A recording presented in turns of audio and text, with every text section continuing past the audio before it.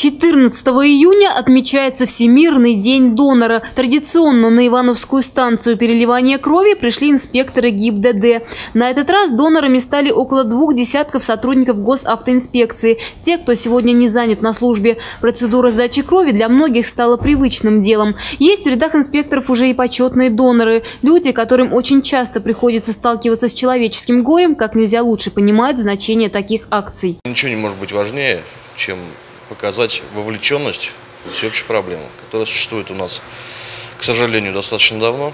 И до тех пор, пока страдают на дорогах люди, страдают дети, в первую очередь, нужно решать эту проблему сообща.